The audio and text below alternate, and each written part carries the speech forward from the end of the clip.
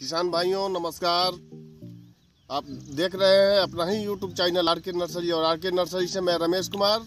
तो किसान भाइयों, आज हम फिर नया टॉपिक पे आए हैं, चन्ना का खेती। हम धीरे धीरे आप लोगों को हर तरह का फ़सल के बारे में बताएँगे और अभी फ़िलहाल जो है, हम आपको बताने जा रहे हैं चन्ना का खेती कैसे किया जाए, चन्ना का डिस्टेंस कितना होना चाहिए और चन्ना में कौन सा कीड़ा लगता है। तब तक किसान भाइयों, आप देखिए यहाँ पे डेढ़ एकड़ में किसान भाइयों चना का खेती जो है ये एक बहुत ही सस्ता खेती है जिसमें आप अच्छा पैसा कमा सकते हैं, कम लागत में अच्छा पैसा कमा सकते हैं। और अभी ये चना जो है बहुत छोटा अवस्था में है। किसान भाइयों, अभी इस चना का जो आप खेत प्लॉट देख रहे हैं, इसमें अभी कोई भी, किसी भी तरह का कोई भी प्रॉब्लम नहीं है।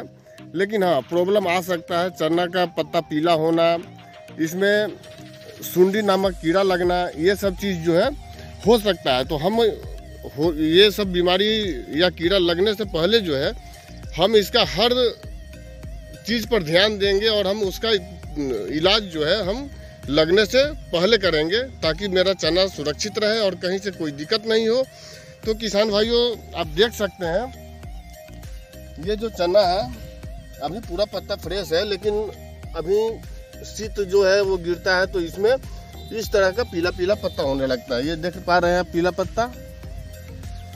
इस तरह का जो है ये पीला पत्ता होने लगता है और इसको, इससे हम लोग बचें उसके लिए हम क्या करते हैं कि इसमें फंगीसाइड और कोई भी हल्का कीटनाशक 20 परसेंट, पच्चीस परसेंट, दस परसेंट इस टाइप के जो कीटनाशक है, साइपरमेथ्रिन हो गया या क्लोरोपोरिफोस हो गया, हम इसको, इसमें स्प्रे करेंगे। स्प्रे करने से क्या होगा कि जो सुंडी नामक जो कीड़ा है, वो नहीं लगेगा। और हमारा चना पूरा जो है पूर्ण रूप से फ्रेश रहेगा। तो किसान भाइयों, ये चना का जो छोटा पौधा है, उसके बारे में हम आपको बताएँ। और फिर नेक्स्ट वीडियो में जो है, हम आपको चना से रिलेटेड चना का जो फल में सुंडी नामक कीड़ा लगता है, उससे बचाव के लिए हम आपको फिर से भी, जो भी उसके लिए ज़्यादा अच्छा होगा, वो चीज़ हम बताएँगे। तब तक के लिए किसान भाइयों, नमस्कार, प्रणाम। फिर हम नेक्स्ट वीडियो में मिलेंगे और किसान भाइयों, यदि वीडियो अच्छा लगे तो हमारे वीडियो को लाइक सब्सक्राइब और शेयर ज़रूर कीजिए।